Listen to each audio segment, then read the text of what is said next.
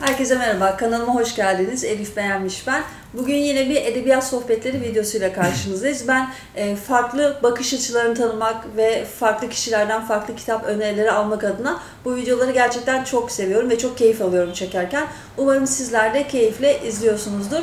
Bugünkü konuğumuz sevgili Furkan. Furkan hoş geldin. Hoş bulduk, teşekkür ederim. E, Furkan'ı ben bir şiir kitabı sayesinde tanıdım. E, şiir kitabını almıştım. Arka kapak yazısı beni çok etkilemişti. Aslında arka kapak yazısından etkilenerek aldığım kitaplardan bir tanesiydi. Ve daha sonra severek okuduğum şiir kitaplarından biri oldu. Ve bugün Furkan'la birlikte bir sohbet gerçekleştireceğiz. E, ilk önce istersen biraz kendinden bahset, daha sonra sohbete başlarız. Ben Furkan Güreci, 26 yaşındayım. Üç tane şiir kitabım var şu an. E, dördüncüsü de... Bir tanesi burada gösterelim mi Evet. istersen? Tabii ki. Bir Sancı'nın panoraması. Evet. E, ikinci kitap da Yolda, Dünya Bulantısı kitabım. Bir iki aya kadar çıkmış olacak. Üçüncü kitapta e, bitmeye yakın ve e, aynı yayın eviyle beraber çalışmaktan keyif aldığım, mutluluk duyduğum yayın eviyle yoluma devam edeceğim gibi görünüyor. Onun haricinde işte bir tane öykü kitabım var, siz de söz etmiştim zaten. Aynı zamanda bir tiyatro oyunum var. Ee, yakın zamanda Kayseri'de premieri gerçekleşecek. Ee, politik dram türünde iki perdelik bir tiyatro oyunu yazdım. Ee, sürekli üretmeye, e, araştırmaya, sorgulamaya, incelemeye, e, edebiyata hizmetkar olmaya, bilgi ve fikir işçisi olmaya devam ediyoruz. Bir kültür emekçisi olmaya çalışıyorum. Şiir, e, şiirden beslenmeye çalışıyorum, öyküden beslenmeye çalışıyorum, deneme yazmaya çalışıyorum. Evet Yarım kalmış bir roman e, benim de var. sormak istediğim bu. Bütün bunları yazarken e, senin etkilendiğin isimler kimler? O kadar çok var ki. Mesela şiir adına e, ikinci yeniden tutun da toplumcu gerçekçilere kadar, mavicilerden tutun da garip akımına kadar. Mesela ikinci yeniyi takip edenler genelde garip akımını küçümser. Yahut garibi takip edenler mavicilerin ve ikinci yenicilerin yapmak istediklerini genelde anlamakta zorlanırlar ve ikinci yeniye sıcak bakmazlar. Garip akımının aslında çok da bir fark yok. Garip akımının e, şiiri, edebiyatı, gündelik hayata, sokağa taşıma uğraşına ikinci yeni de destek verdi. Tek fark bize herkesten herkes anlasından ziyade kapalı imgelerle yüklü bir şiir anlayışıyla yolumuza devam edelim. Ama bunu yaparken alışılmamış bağdaştırmalardan da faydalanalım. Bunu yaparken söz sanatlarından da faydalanalım. Ama gene sokağa, edebiyata taşıyalım dediler. Peki isim olarak söylemek gerekirse en çok sevdiğin, seni etkileyen şairler kimler? İlk Çok- aklına gelen birkaç tane. İran'da Firu Feruzat, Evet. çok güzel. Ee, İngiliz edebiyatında William Black, William Black benim için çok önemliydi. Türk edebiyatında e, zaten Nazım'dır, Edip Cansever'dir, Turgut Uyar'dır, İlhan Berk. Onları onlardan da ziyade, gerçi İsmet Özel'i de bilmeyen yoktur da İsmet Özel'in e, açılıp kapanan şiir anlayışı dediğim, benim kafamda İsmet Özel şiirinde bir küstüm çiçeği vardır. Açılıp kapanan bir şiir anlayışı vardır. İsmet Özel'in şiirlerini çok iyi buluyorum. Onun haricinde son dönemlerde bakın Seyitan Kömürcü'yü çok beğeniyorum. Ee, zaten Birhan Keskin'i çok seviyorum. Yani genel olarak bütün e, edebi akımlardan faydalanmaya, mesela güncel edebiyatı da takip etmeye çalışıyorum ki genç arkadaşlarımız, aynı yaşta olduğumuz 2010 kuşağı diye nitelendirilen kardeşlerimiz Onlara neler genellikle yapıyor. bir önyargıyla bakılıyor aslında. Bakılıyor evet. Evet. Ama şöyle söyleyeyim. 80 Çünkü çok özür dilerim lafını kesiyorum. Çünkü e, tescillenmemiş kitaplar olduğu için okurken e, risk almış oluyorsun. Sevmeme ihtimalin de var. Bu yüzden biraz önyargılı yaklaşılıyor ama e, bu yeni yazarlarda okunmamış olsa Ömür İklim Demir'i de herhalde kimse tanımıyor olurdu. Evet, yani şöyle bir durum söz konusu. Bir kültür emperyalizmi var. Ee, kültüre ciddi bir ambargo var. Ee, şu an yayın evleri bir ticarethaneye dönüşmüş durumda. Açık konuşalım. Şu an bu videoyu izleyecek arkadaşlar arasından muhakkak ilk kitabını yazmış, çıkartmakta çok zorlanan, dergiler yoluyla biyografisini güçlendirip belki no name olmaktan kurtulurum da Yayın evlerinde bir şans tanınır diye düşünen kardeşlerimiz vardır. Onları ben çok iyi anlıyorum. İlk kitabımı 4 yıl bekledim ben. Param olmadığından da değil, dürüst konuşayım. Sırf benim duygularım ve üretimim satılık değil diye, gerekirse kitabım çıkmasın diye bekledim. Parayla bastırmayacağım dedim. Elbette parayla bastırdığı halde çok nitelikli ürünler üreten kardeşlerimiz vardır. Bundan şüphem yok. Zaten yayın evlerinin içinde bulunduğu kıskaç insanları mecburen parayla kitap bastırmaya, bir ticaret kaygısına götürüyor. Onu da çok iyi anlıyorum. Onun için şu an genç şairler ve yazarlar dergiler üzerinden yoluna devam etmeye çalışıyor. Popüler dergiler de çok no name e, Almıyorlar işte. almıyorlar. Genelde okuyucu köşesi ayırıyorlar. Ufak Evet, bir evet. sayfa ayırıyorlar. Ufak sayfa. Onun haricinde fanzin dergilerde de yazan çok fazla var. Sokak dergileri, fanzin Dergi dergiler. dönemi de bitti sanki Bitti, artık. bitti. Eskisi kadar o popüler dergiler de okunmuyor. Ben kendimden biliyorum. Evet. Ee, bütün o ay çıkan bütün dergiler neredeyse 4-5 tane alıyordum. Şimdi hiçbir tane bile almıyorum. Yani Sadece Öykü dergisi var bir tane. Ee, iki Evet. ayda çıkıyor o da. Onu alıyorum. Onun dışında çok fazla Yani Cemil. Meriç'in bahsettiği o dergicilik hani edebiyatın baş tacıdır anlayışı artık ortadan kalkmış Kalktı. durumda. Ya zaten sansür geleneği devam ettiği için muhalif dergilere de eğer çok e, popüler değilsen şans tanınmıyor yahut genç yazar ve şair kardeşlerimiz kim bilir izleyenler arasında ne kadar yetkin vardır. insanlar da vardır. Bu insanların şu an içinde yaşadığı kıskacı çok iyi bildiğimi, aynı süreçlerden benim de geçtiğimi gönül rahatlığıyla ifade edebilirim. Bir tane yayın evi bulduk da o yayın evi e, fikirlerimize, benim edebiyata, dünya görüşlerime, ideolojilerime, kırmızı çizgilerime, edebiyata karşı duruşuma saygı gösterdi de ardından e, onunla devam etme şansı yakaladık. Şiirler çok sevildi. İlk kitapta çok güzel yorumlar aldım. Dediğim gibi her şeyden faydalanmaya çalıştığım için dünya edebiyatını çeşitli disiplinleriyle eni konu değerlendirmeye çalıştım. Araştırdım, okudum. Peki isim üzerinden gidersek bize kimleri e, önerebilirsin? Yani çok böyle bilinmedik yazarlar olursa ve bilinmedik kitaplar olursa Tabii daha ki. ilgi çekici Mesela olur. çok enteresan bir şekilde benim şiirimde Kortazar'ın öykücülüğünü şiire taşıma gayretim çok etkili olmuştur. Hmm. Kortazar öykücülüğü. O bilinç akışı tekniği. Atıyorum Virginia Woolf'un bilinç akışını ben şiirde şu an mesela denemeye çalışıyorum. Birkaç tane şiirimde bunu yaptım. Deneysel edebiyat yani avantgard edebiyat yapmaya çalıştım. 2010 kuşağında pek denenmiyor. Riskli bir yol. Bunu zaten Virginia Woolf denedi, Cortázar denedi, Marquis de Sade bilinç akışıyla yazarken bir yandan ahlaksızlığa dair, ahlaksızlığın tek filozofu kabul edilir biliyorsunuz. O sadizmin isminin çıkmasında da Marquis de Sade etkilidir.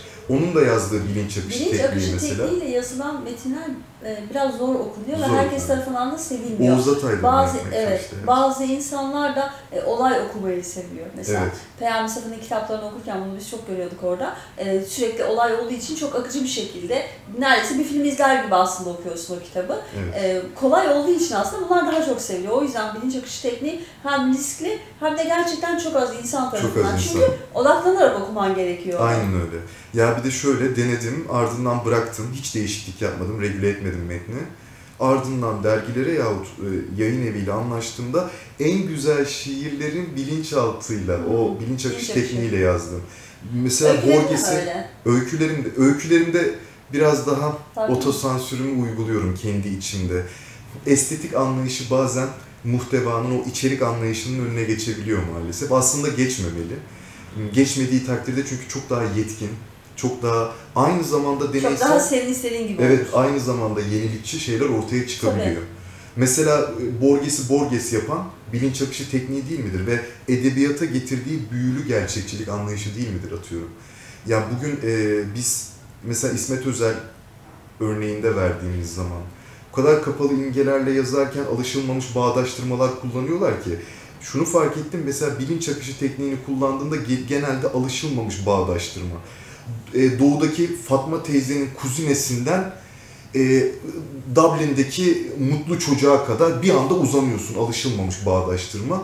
Ve bu da bilinç akışında eğer kendi bilinç e, akışına, altyapına, o e, bilincinde şey varsa doğudan batıya bir birikim varsa eğer bir bakıyorsun kontrollü yazdığında etraflıca derli toplu değerlendirdiğin için bunları biraz daha edebiyatını yapmak zorken bilinç akışında e, bir yanda doğuda oluyorsun, öbür yanda batı medeniyetiyle kalbin atıyor Yani ve okumak kadar yazmak da zor aslında. yok çok zor. Yani bu konuda e, Evet. Şey, Özellikle e, şiir- Peyami Safa'nın bütün kitaplarını okudum ben. Onun da şu an adını hatırlamadığım bir kitabında böyle bir teknik kullanmış gibiydi.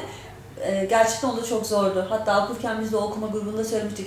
E, eminim çok zor yazmıştır, çok zorlanmıştır bu kitabı yaz- yazarken. Çünkü az önce senin söylediğin şeyleri tam da yapıyordu. Ya Şükrü Erbaş mesela ne diyor? Edebiyat yazarın varoluş ayetidir diyor Şükrü Erbaş.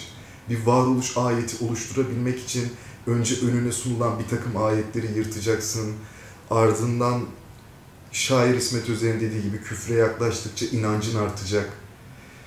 O zihnindeki devinim, aynı zamandaki çelişki, aynı zamanda kimi zaman bütüncül olmak, kimi zaman ikircikli olmak. O gidip gelen girift bilmeceler, o kafandaki gelgitler şiirin biraz daha nitelikli olmasını sağlıyor. Onu fark ettim. Öykülerini çok merak ediyorum ben senin şu anda gerçekten. Yani e, şey, e, öykülerde estetik anlayışını güttüm ama toplumcu gerçekçi çizgiden ayrılmamaya çalıştım. E, sana ifade ettiğim gibi mesela Suriyeli bebek Aylan Kurdi'nin e, Bodrum m, kıyısına minik Güncel olaylardan. Evet. Evet, Örnek veriyorum mesela, bugün sokağa işleyebilmeliyiz diye düşünüyorum. Edebiyat fil dişi kulesinde olmamalı, şatolarda yaşanmamalı diye düşünüyorum.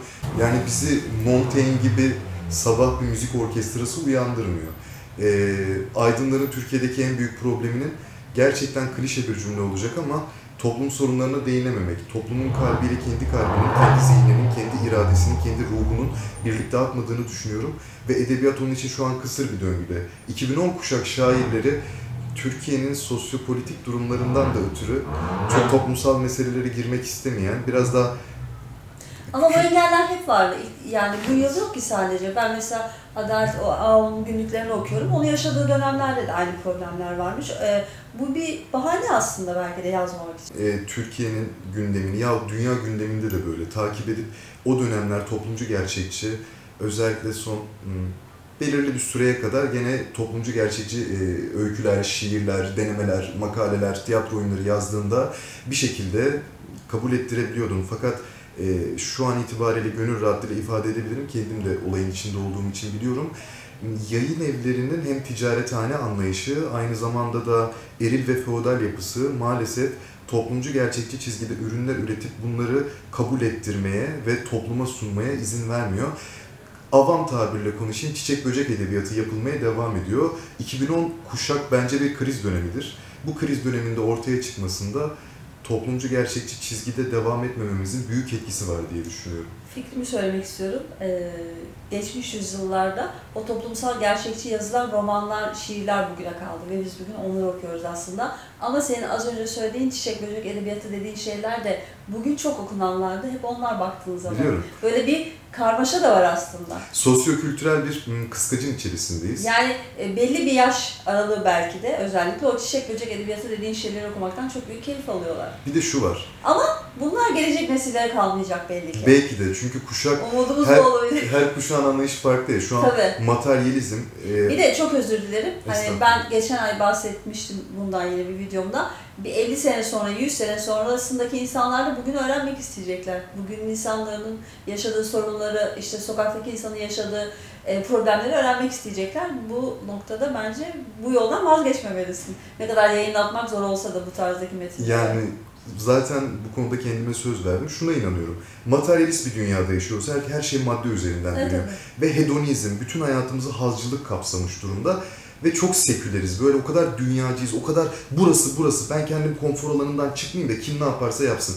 Bu zihin yapısı topluma da sirayet ettiği için toplumu oluşturan bireyler bir şey üretmek istediği zaman toplumun düşünce tarzıyla hareket ettiği için şu an e, konuşmamız sonlandıktan sonra bugün birileri açlık, yoksulluk çekmeye devam edecek. Fakat ben e, onlarla birlikte olduğum halde, onların o sıkıntılarını gördüğüm halde her şey mükemmel, ah aşk sen ne mükemmelsin, ah birey bunalımı, yalnızlık, hepimiz çok yalnızız. Peki yalnız olmamıza sebep olan faktörleri eni konu değerlendirmezsek sorunları nasıl çözebiliriz ve edebiyatı gerçekten topluma mal edebiliriz? Edebiyatı sadece bütün bunların kıyısında, bütün bunlardan münezzeh, estetik bir anlayış. Güzel şeyler yazayım, güzel sözler yazayım, yeter ki sevilsin, yeter ki okunsun, çok satılsın. Popüler kültüre de hizmet edecek şeyler yazarsam zaten yayın evini de kolay bulurum. E, Daha çok da network yaparım, ağım geniş olur. Ardından çok daha fazla kişiye ulaşabilirim. Aman bana dokunmayın, aman, aman bana dokunmayın. Ardından ortaya böyle şu an kısır döngüde dönen bir edebiyat ortaya çıktı. Edebiyatın durumunu şu an üzücü görüyorum ben. Evet, haklısın. Söylediklerinin hepsinde haklısın ama ben de işte çok fazla biyografi okuduğum için belki de bunu biliyorum. Ya da işte günlük tarzı, işte bir yazarın güncel sorunlarına ait metinleri çok fazla okuduğum için şuna inanıyorum. Yani her dönemde bu problemler var. Her dönemde işte e, her dönemdeki yazarların yaşadığı şeyler bunlar. Peki bir şey soracağım. Sen kimleri okumaktan keyif alıyorsun? Faulkner'ı çok seviyorum. Nietzsche'yi çok seviyorum. Nietzsche ama şeyden biri son zamanlarda edebiyata karşı daha umutlu, hayata karşı daha umutlu olmak istediğim bir süreçten geçiyorum. Umut kötülüklerin en fenasıdır çünkü işkence süresini uzatır ve her şeyi reddedelim, o nihilizm, o varoluşçuluk. Hayır, artık e, Nietzsche'yi sırf kendi sağlığım için, selametim için okuyorum. Schopenhauer'u çok çok beslendim. Öyle mi? Deneme denememde mesela bir deneme kitabı hazırlığındayım. Schopenhauer'dan çok beslendim. Heidegger'den çok beslendim. Kierkegaard'dan çok beslendim. Beslenmek istersen mesela Orta Çağ filozoflarından Aquinas vardır. Aquinas'tan bile beslendim. Yani mesele şu, baskıcı, dayatmacı, feodal, ilkel, iktidar anlayışına, bu Türkiye'de de değil, dünyada da böyle, muhalif olan ya da bir şeylerde abi biz nereye gidiyoruz, ya öyle değilse diyen kim varsa nitelikli ürünler üretmeyi başarmış, o şüpheci, o septik insanlar, evet onlar gerçekten 100 yıl sonra benim gibi genç insanları da üretmeye çalışan edebiyata meftun kimseleri de peşinden sürüp orta çağda Aquinas şu an beni şekillendiriyor mesela. İşte her zaman söylüyorum, konfor alanından çıkmadan, o konformist düşünceden vazgeçmeden edebiyat nitelikli olamaz. Doğru. Konfor alanından çıkmak zorundasın. Zihnini zorlamak zorundasın. Gerekirse ruhuna ızdırap et. Mazoşist bir tavır gibi olacak da ruh ızdırap çekmeden, ruh ne oluyoruz ya biz nereye gidiyoruz demeden, ben nereye gidiyorum, toplum nereye gidiyor, dünya nereye gidiyor, sistem nereye gidiyor demeden nitelikli bir ürün çıkacağına ben inanmıyorum. Ee, yazmakla ilgili e, bir şeyler okuyor musun? İşte yazım teknikleriyle ilgili e, e, Metis kitaptan da 645 yayınlarından da çıkan bu Evet. tarzı kitaplar var. İşte diyalog yazmak üzerine veya işte iyi yazmak üzerine gibi. Yani bu alanda bir sürü kitap var. O anlamda okuduğun kitaplar var mı? Yani normalde var şunu yapmaya çalışıyorum. Makale okurken normalde sıkılan biriyim. İnceleme, araştırma, eleştiri yazıları. Ben çok fazla bilgiyle müsemma şeylerde aşırı derecede yoğun, yığınla bilgi beni çok yoruyor. Ben onu ruhumla, kendi gözlemlerimle Kendimi anlamak istiyorum anlamak diyorsun. istiyorum ama şey yapıyorum. Kitap uygulaması ismi vermemde sorun yok herhalde. Yok hayır. Mesela Bin Kitap'taki sürekli çok faydalı oldu. Bin Kitabı bu arada öneririm. Ben çok seviyorum. Ee, çok fazla kitap okuyorsun, çok fazla kitaba dair bir, e, sanki biriktiriyormuş gibi alıntılar paylaşabiliyorsun. Onlar senin profilinde duruyor. Ben onlardan da çok faydalandım. Kitaplara dair yazılan inceleme yazılarını teker teker 1000K'da yetkin gördüğüm kullanıcıların yazılarını okuyorum. Bu mesela benim şurada ben şöyle yazsam şöyle yapmalıymışım. Burada böyle yazsam aa böyle daha iyi olurmuşu sağlıyor. Onun için o 1000 kitaptaki İnceleme yazarı. evet, inceleme yazılarını çok Benim de çok e, inceleme yazılarını beğendiğim bir arkadaşım, bir iki kişi var ben de onları sana önereyim. Gerçekten çok etkileyici e, yazılar oluyor. Çok. Hani bir şeyler yazmak isteyip ama acaba e, yazımı nasıl şekillendiririm? Kendini bir şekilde şekillendirmiştir insan, ruhunu bir şekilde beslemiştir. Ne yazacağını da biliyordur ama nasıl yazacağını bilmiyordur. Nasıl onu daha böyle keyifli okunası bir hale sokacağını bilmiyordur. Bu anlamda tavsiye edebileceği bir kitap var mı? Ya da çok özür dilerim, e, bir metni okurken neye dikkat ederek okuyorsun? Şuna dikkat ediyorum. Metinlerde tekrar söylüyorum bunu Virginia Woolf ve Cortázar adına, Borges adına örnek verdim bilinç akışı tekniği. Bilinç akışı tekniğini denemeyi başarmış ve bundan risk almaktan korkmamış. Faulkner da bunu yaptı. Büyülü gerçekçilik ve bilinç akışı. Bir metinde, nesirde ben büyülü gerçekçiliği, bilinç akışını ve avantgard, yenilikçi olan ne varsa, önceki okuduğum öykülerde nesir yazılarında göremediğim ne varsa bu üç faktör yenilikçi tavır, büyülü gerçekçilik ve bilinç akışı. Bunu kitabına koymaya cesaret etmiş yazarların kesinlikle ve kesinlikle hiç yetkin olmadığını görmedim. Hep yetkin gördüm. Çünkü bu çok büyük bir cesaret ister. Ben buna çok dikkat ediyorum. Yenilikçi bir tavır her zaman öykünün, şiirin riskli de olsa, deneysel de olsa e, okunmasını kolaylaştırır diye düşünüyorum. Daha e, metne şekil verir. Yeni isimlerden peki kimleri severek okuyorsun? Ömür İklim Demir'i falan az önce konuştuk değil mi? Evet biraz bahsettik Ömür İklim Demir. Onu Yani- artık bence tanımayan kalmadı zaten. Yani son dönemlerde son kuşak e, öykücüleri içinde üzülerek belirtmeliyim ki çok fazla şahsi görüşüm Hı, takip Ben- ediyorsun. hayır ediyorum. Hı. Bol bol da dediğim gibi fanzin edebiyat, popüler Hı. kültüre dergiler hepsini alıp okumaya çalışıyorum ki kendimi daha çok geliştireyim, geride kalmayayım diye. Ben şu an yetkin görebileceğim son kuş- kuşaktan ben öykücü örnek veremiyorum.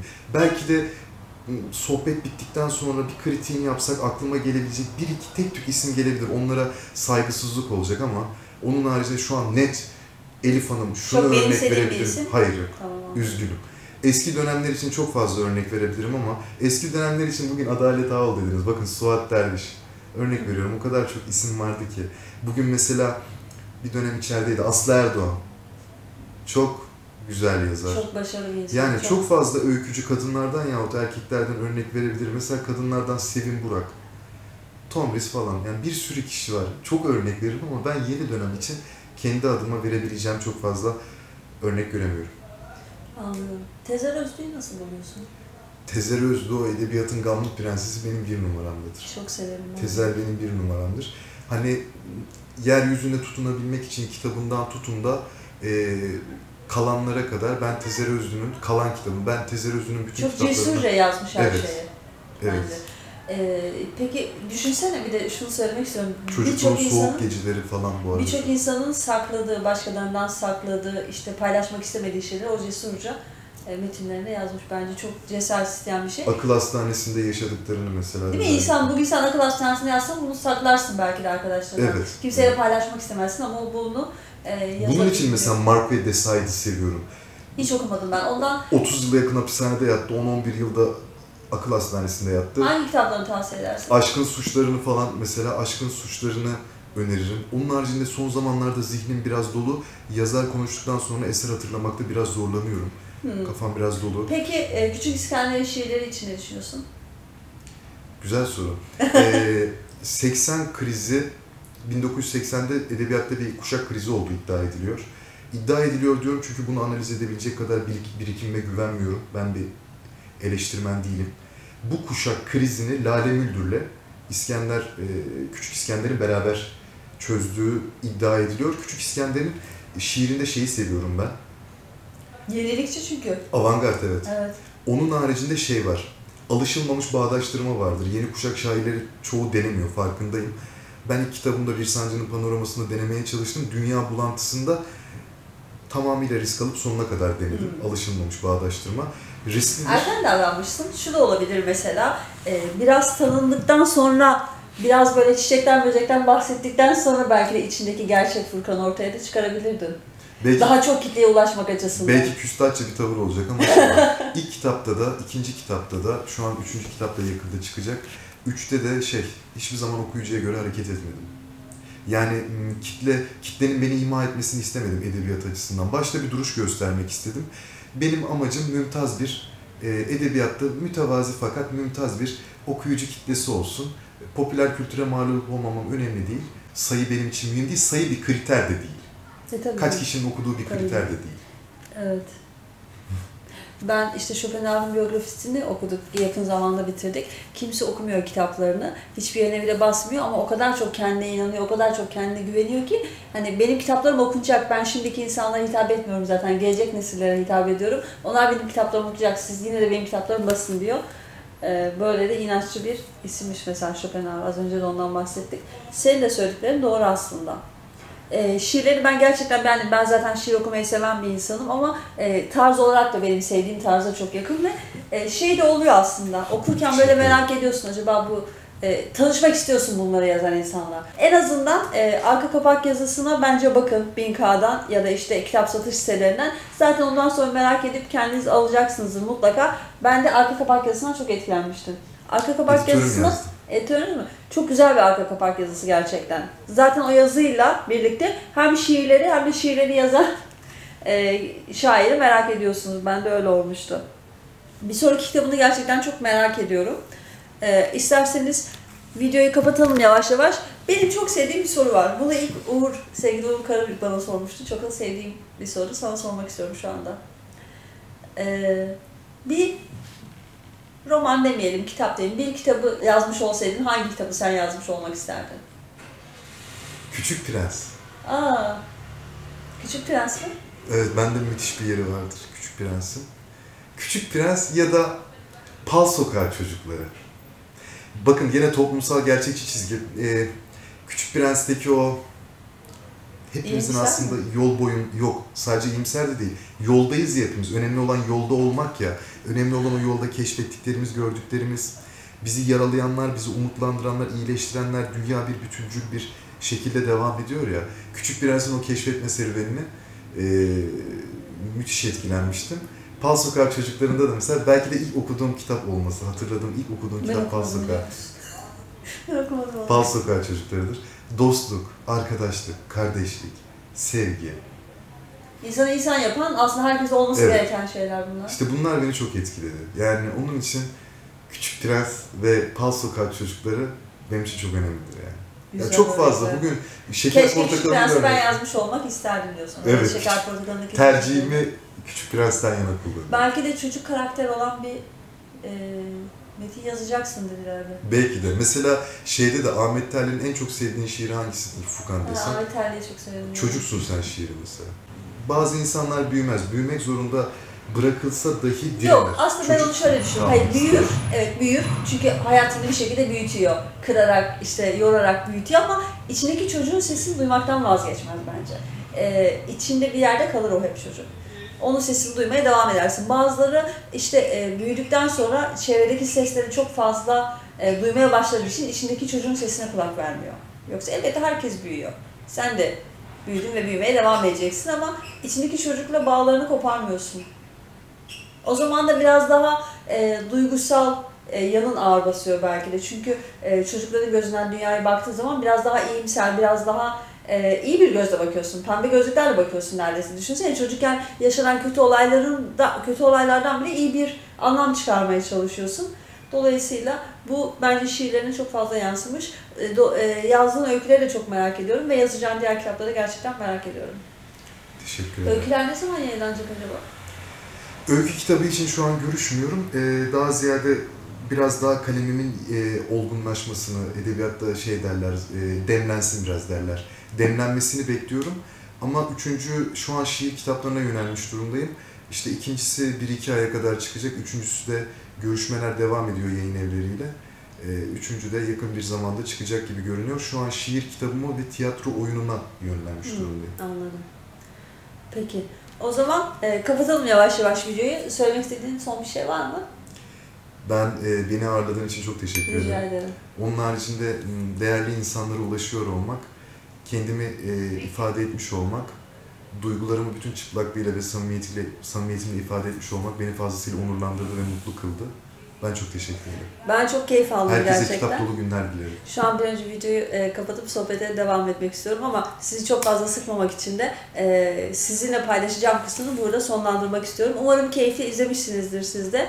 E, sana sormak istedikleri sorular varsa yorum olarak yazarlar. Sen de oradan bakar cevaplarsın. Elbette memnuniyet duyarım. Evet. E, izlediğiniz için çok teşekkür ediyorum. Başka bir videoda görüşmek üzere. Kendinize çok iyi bakın. Hoşçakalın.